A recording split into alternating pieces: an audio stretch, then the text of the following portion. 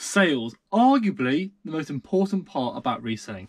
Now, it's often said that sourcing, buying, is the most enjoyable part about reselling, and I'll admit it is. However, if you don't have any sales, then what's the point of doing it? So, let me show you some sales. This is the last two weeks of January. My idea going forward is I'm going to do a sales video every couple of weeks, talk through the best sales of that period, a little bit about the item, what I paid for it, what it sold for, and just like tips and tricks here and there. I'm finding now I'm doing promoted listings and I'm listing consistently every day. Sales have, on the whole, been so much better than they were last year. In fact, January was my best month ever as a part time reseller. So, without further ado, let me show you what sold in the last couple of weeks. Now, I shan't show you everything that sold, that'll make it a really, really long video. I want to condense it. I want to condense it into manageable chunks so you can absorb the most relevant information from it. I sell mostly clothing and footwear, I admit, but there are also some toys in there as well, as well as some books and other bits and bobs. Like I said, I am a part-time reseller. I do this purely as a hobby slash side gig, so I can only afford to spend time outside of my nine to five day job. But hey, this is just advice. Don't take it as gospel. This is just my experiences selling certain items on eBay. Hopefully it's enjoyable. Hopefully you learn a few things. Let's get to it. So the first sale, vintage Karrimor bicycle pannier. Just the left one. Now, if you go on eBay and search for bicycle panniers, typically they come as a pair because that's kind of what you want to buy. But this one was on its own. It was a left-hand side one, vintage one though, from the 1970s. I paid 50p for this at a car boot sale, and that sold for 15 pounds plus postage pretty quickly as well. So I will be looking out for these again. Um, I can't imagine they're going to be particularly common, but they're out there, they sell fairly well if you can get them for a cheap price. These are a pair of Adidas Predator 18.1 soft ground men's football boots. Bit of a mouthful. They are UK size 11. I only paid a pound for these at the car boot sale, but they were missing their laces. So I sourced some laces that were as close as possible to the originals. Only cost me like a pound. So a two pound investment. They sold for £35 plus postage on an offer. They weren't in the best condition, but they were in a good, usable condition. A few scuffs at the bottom, so more of a you know boot to actually play football with rather than a collector's piece. Definitely picking those up again. Definitely keep a lookout. Anything Adidas Predator sells well. Rock and Republic jeans, not a very well-known brand, but typically have quite a good following. So this is the second pair I've sold now. Again, paid a pound at a car boot sale. These are sold for £20 plus postage. This sold way too quickly. I think I underpriced it, but I had no idea how to price it because there are no solds. So this is a long sleeve graphic print t-shirt of the punk band The Exploited, £25 plus postage. And honestly, I think it took 10 minutes to sell, if that. So probably could have got more on that one, but I only paid 50p for it, so not too worried about that. And funnily enough, shortly afterwards, I sold this other long sleeve punk t-shirt, bought from the same shop, again 50p, that went for £23 plus postage. Knocked a couple of quid off because I was, I was having a good morning. I thought, you know, I'll be generous. Get these things, get these things flowing. These are some Converse uh, Chuck Taylor All Stars, but they're uh, they're like sort of like a, almost an insulated boot, almost sort of like a, a chukka boot.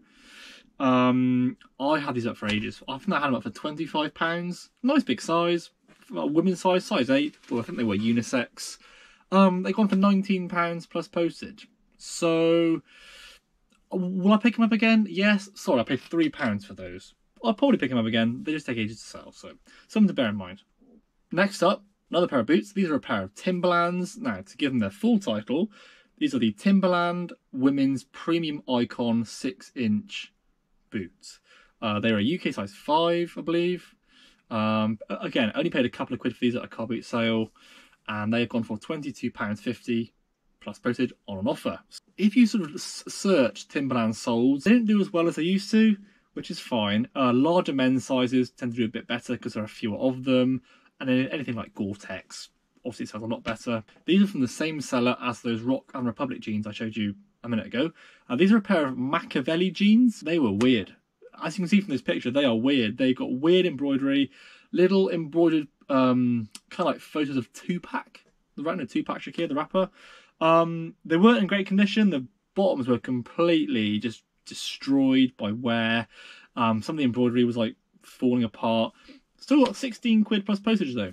Paid a pound, so not bad. So some jeans can still sell even if they're in battered condition. but typically I wouldn't pick up battered jeans because they just take ages to sell. pair of Nike Air Max 270s. These are only a size 3. Typically don't pick up size 3s unless the shoe is like just a bit different. Let's be honest, how many women out there have size 3 feet? Compared to like larger sizes, not many, so they can sit around. These didn't take too long to sell. They've gone for £17 plus 50 plus postage. Sold some 7 4 Mankind jeans. These are pretty standard. Uh, width 32, length 32. Paid £4.50 for these, I believe, in a charity shop. They've gone for £21 plus postage. Didn't take too long to sell. Happy with that. Bought these at a Cobit sale last year. Uh, these are a pair of New Balance 1500 leather trainers made in England. They're not vintage, they're just made in England but more recently, if that makes sense. Only paid a couple of quid for them. They did need a bit of a uh, bit of help. Uh, I bought some blue or navy blue shoe polish, especially just to tidy them up. Had some really like deep marks on them, if that makes sense. I might have to like scrub them out. Managed to get them looking pretty good. Had these up for 60 quid. Um, bounced back and forward with some offers. Eventually settled on £53 plus postage. So yeah, keep an eye out for new, uh, like I said, New Balances are they do vary in popularity, and there are so many of them out there. Um, but I find the higher the number, typically the more desirable they are.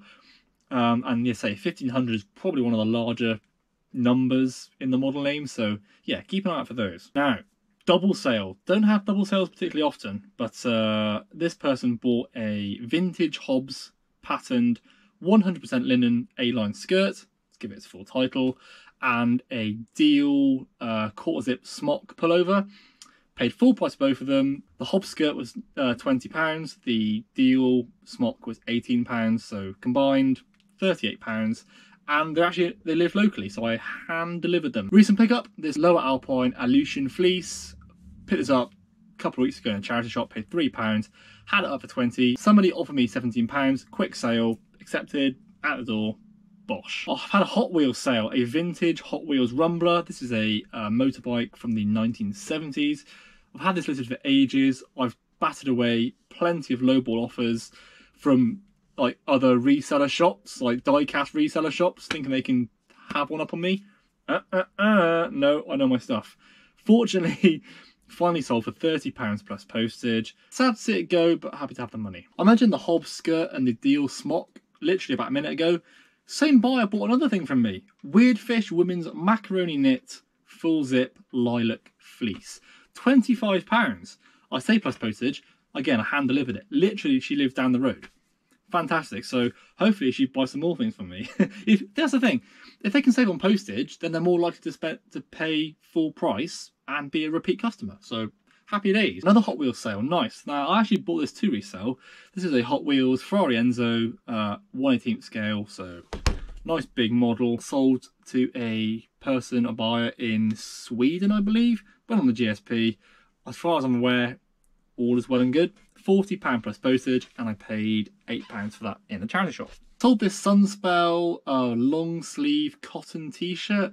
Now, I've sold Sunspel before. The polo shirts do really well going by this sale, I I'm going to be treading more carefully with other Sunspel products. It's a brilliant brand, don't get me wrong, but I think the desirability factor is with the polo shirts, um, any sort of like knitted jumpers. I'm finding the t-shirts and the long the long sleeve t-shirts just don't do as well. There's not as much of a demand for them, so paid £4.50, uh, eventually sold for £21 plus postage just took an age to sell and didn't do as well as I thought it would. It's okay, lesson learned. G-Star Raw jeans. The G-Star Raw arc jeans, this is what they are. When you hold them up, they kind of like bow in like an arc. They're the ones to look out, look out for. I paid £3 for these at a car boot sale ages ago, and they sold for £25 plus postage on an offer. The demand just isn't there for them. I don't know. These were like a, a light wash with distress look. I don't know if a darker wash will sell better, maybe without any distressing. I'll still pick them up in the future. I'll just be aware that they might sit around for a while. I don't just sell clothing, I promise you. This is a Monster High Top. This is Lagoona Blue from the second wave, I believe. That's what I put in the title, so I'm assuming that's correct. £25 plus postage. And I think she was part of the big bundle I got um, at a car boot sale last year. So she cost me the equivalent of a pound. So one pound is 25 plus postage. Excellent. The trick with her is she came with a couple of her accessories and she's only missing a couple of bits. I think her earrings and maybe a necklace. As with all Monster High dolls, the more accessories, the more bits of clothing and, and paraphernalia that comes with them, the better the price realised. Uh, these are a pair of Adidas originals. These are called the Titans. Doesn't actually say Titan on the side, that's just what they're called. But they're a driving shoe. Now I paid £8 for these in a charity shop in Totnes down the road. Um, not expecting much, but they just they just looked different. I thought I'll take a punt on them. They are sold for thirty five pounds plus postage. One of these things where I probably could have priced them at any sort of level, and they probably would have sold eventually. I just wanted to see how well they do. Size eight weren't in the best condition. The bottoms were fine. The upper suedes were a little bit kind of blotchy and a little bit stained, so could have done a lot better if they were a bigger size and better condition. But yeah, eight into thirty-five nothing to be sniffed at. It's all about a Rohan. So this is a women's Rohan, a microgrid stowaway fleece. Lovely condition, paid £4.50 for this. That sold for £25 plus postage. Same day, I believe as well, same day, size large.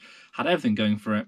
So it just shows women's Rohan can sell as well as men's Rohan. You've just got to get the right items. But these microgrid stowaways, really good sellers. These are some JTS Kevlar lined motorcycle jeans look like regular jeans, but you can put armour in the knees, I think the hip as well. Uh, again, paid a pound for this. Same seller that I got those Rock and Republic jeans from, and those Makaveli Tupac ones. So paid a pound.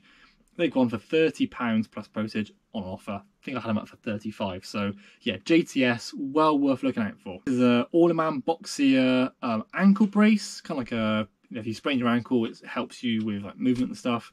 Paid £1.50 in a charity shop. That sold for £25 plus postage pretty quickly as well. So keep an eye out for your medical stuff. It can sell really well. So some more New Balance. These are New, Balance 572 all-terrain women's trail shoes. Uh, I pay £2 of these, I believe, at a car boot sale. They've gone for £25 plus postage. Uh, do love selling band t-shirts. This is no exception. So this is a HIM Scandinavian uh, rock band. This is a tour t-shirt from 2006, so a good bit of age to it. I paid, I want to say £3 for this, or £3.50 in a charity shop. That's gone for £30 plus postage. Only a size medium, but in fantastic condition.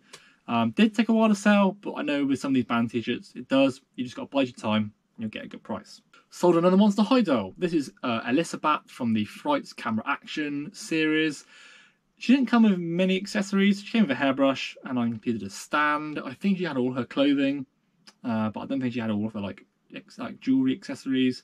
But she's gone for £30 plus postage on the GSP over to America. These are a pair of vintage, I think, although now I'm, I'm down to myself that they are. So a pair of older, let's say Oakley brown leather and suede trainers. I paid £10 for these. No, I didn't. How much did I pay for these? I think I paid £9 for these in a local charity shop. Uh, they have taken a while to sell, and they took and they've taken about four months to sell. Um, accept an offer, £70 plus postage. Cannot complain about that at all. Bit of Umbro, Umbro sweatshirt, fairly basic, just big logo across the chest, navy blue colour, size large, paid £4 in a charity shop.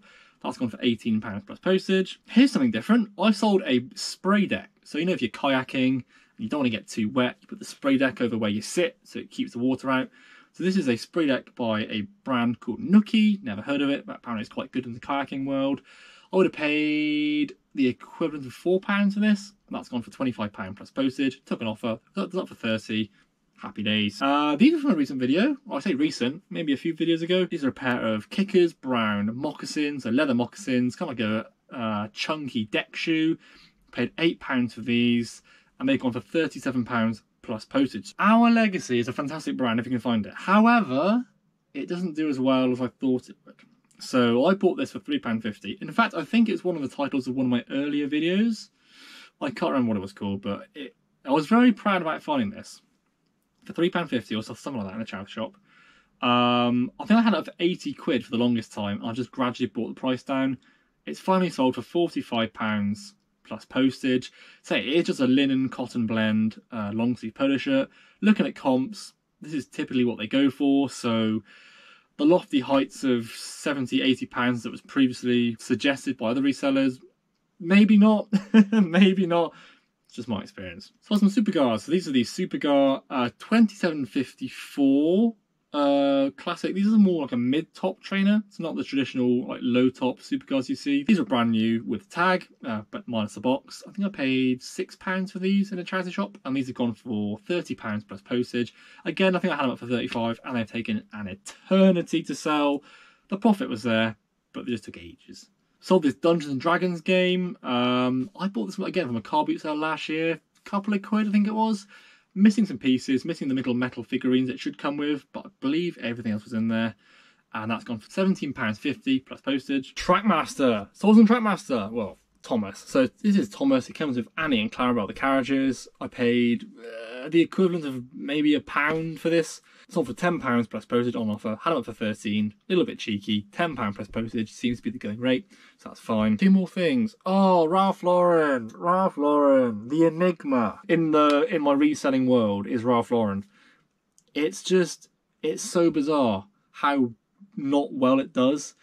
So I bought this thinking this is going to be an absolute banger. It's a double XL size rugby shirt, short sleeved, admittedly. Got lovely embroidery to the front, lovely embroidery to the rear, nice little standout colours. I think I've paid a fiver for this. Thinking it would do like 30 plus. No, no, £20 plus postage after being badgered by somebody on offer.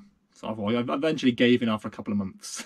no, it was about a month, about a month of badgering. I finally gave in. But looking at comps, seems to be about the going rate. Even for the really fancy ones that have the the, uh, the country embroidered across the front, yeah, 2025 is about the going rate. The long sleeve ones do a lot better. I find with Ralph Lauren, the more sort of the more fancy and the more outlandish the design is, the better they do. Because everything else is so saturated, there's just a massive like supply of it. So I'm taking that. I'm bearing that in mind going forward. And finally, let's let's finish the video off with, with a good sale. So this is a Paramo Parameta S uh, long sleeve reversible shirts. I picked up three of these in a charity shop. Amazing. Uh, paid four pounds for this. That's gone for fifty pounds plus postage, and that sold within a day. So super happy, super happy. If the other two can realise those prices too, amazing. That's it. I've I've sold I've done really well recently. I tell you what it is. Promoted listings have really helped my shop. Um, I've literally promoted everything at 5%, which is quite a bit. Which is quite a bit. You know, that's a, you know, eBay's getting, a lot more money from me. But when I'm doing searches for stuff, a lot of the time, my stuff will be at the very top, thinking, oh, good. As long as I can make my photographs good and make it look as good as it can be and with a good description and stuff, then hopefully, and obviously an attractive price, and hopefully people will perhaps purchase my items rather than someone else's. So yeah, promoted listings certainly works. You know, it's, it's done wonders over the last couple of weeks. This is just my experience. Literally everyone is different. That's the marvelous thing about this. Everyone does things slightly differently. Certain things people seem to do really well with, other things people don't, and you just got to work out work out a nice balance. You got to work out what sells for you, what makes you happy, you know, what are you happy selling, and just go from there. Thank you so much for watching. Like, comment, subscribe, and I'll see you in the next one. Take care. Goodbye.